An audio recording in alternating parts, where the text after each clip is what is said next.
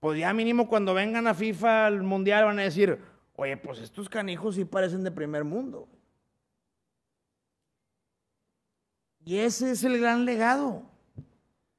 Que por fin llega un gobierno que no roba, que hace lo que le toca y que además le dice a la gente con toda sinceridad, oigan, Roma no se construye en un día.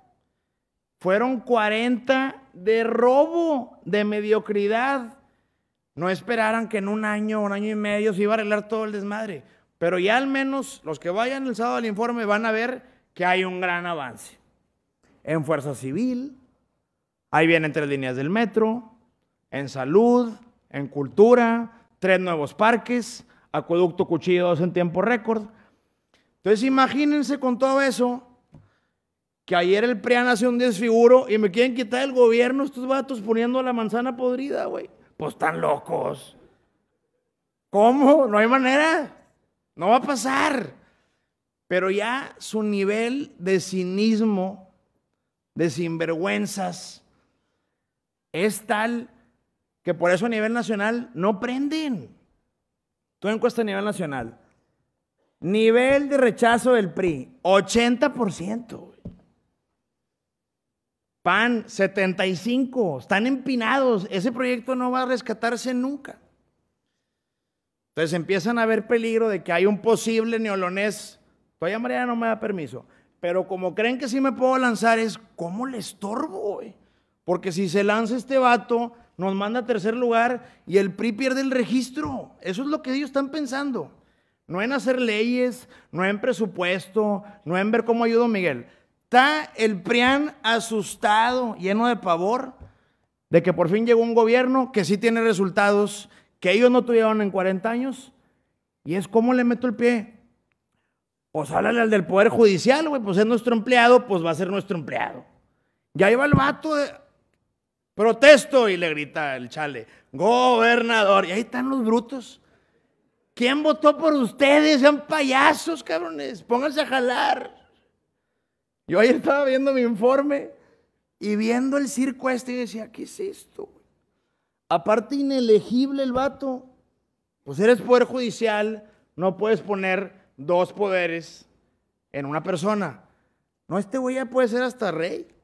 Poder judicial, ejecutivo, legislativo, ya dale Metro Rey también, que maneje los camiones, güey. No saca una chingada sentencia y quiere manejar el Estado. Entonces, pero ellos no se dan cuenta. Ellos se encierran ahí en la casa de Adrián, en la Alameda, y se ponen a planear cómo le meto el pie al gobernador. ¿Cómo hacemos que se le caiga el gobierno? ¿Cómo distraemos? Y solito se hunde ese Titanic. Por eso dice Dante, ¿Cómo nos subimos al Titanic si sabemos que se va a hundir? Están llenos de negativos, la gente los odia, la gente tiene memoria, nadie los quiere. Entonces hoy aprovecho para decirles, miren, en un solo día, en lo que ustedes se ponen de acuerdo, ahí el Paco, el Chefo y toda esa racita, en hacer maldades, el nuevo Nuevo León en un día, Black Hawk, segunda bomba del cuchillo y 300 camiones. En un día. Pues chingao. Aplaude, Mariel.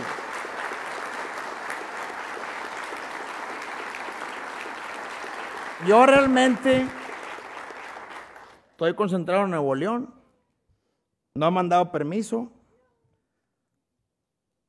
Hasta ahí de ir por el segundo, la segunda.